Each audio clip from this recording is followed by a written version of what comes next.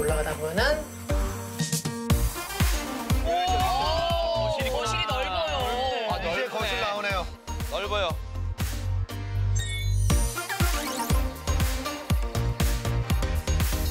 이 층 전체가 생활 공간이라고 보시면 돼요. 주방이나. 예, 예. 이제 공용 그 공간이죠.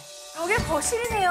네, 그렇습니다. 사실 밑에 좀 약간 협소해서 좀 걱정을 좀 하신 것 같은데 맞아요. 제가 걱정하지 말라 그랬잖아요. 위로 가면 뚫려 있다고. 어, 그러네요. 메인 생활 공간. 어, 창문도 이렇게 두 면으로 돼 있어가지고 네. 통풍 환기시킬 때도 지금 괜찮겠어요.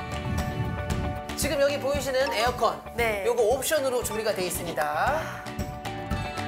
거실과 주방이 이렇게 한 공간이 있잖아요. 네. 어, 잘해놨다.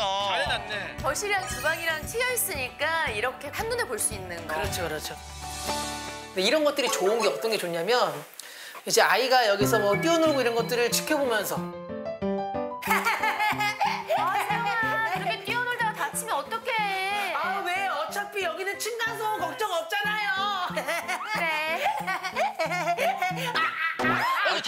네 살이 저렇게 뛰어논다고? 야, 진짜 동생 이기려고 열심히 하는데. 진짜. 그래도 주방이랑 거실이랑 트여 있어서 엄마가 확인할 수 있어 좋다. 엄마 난 이 집이 너무 좋아. 뛰어놀아. 에이 광고야 뭐야?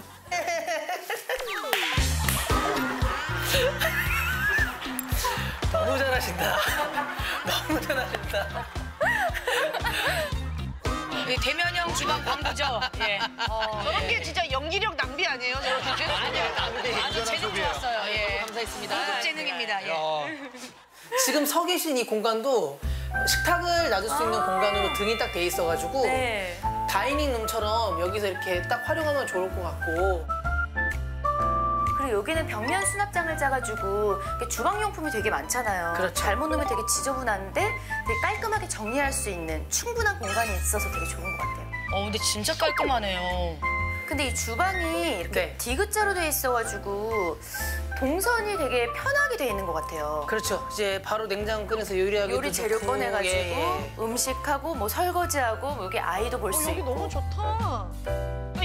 같이 가족들 놀고 맞아. 예, 맞아요. 각자 방으로 흩어지면 되는 거 아니에요?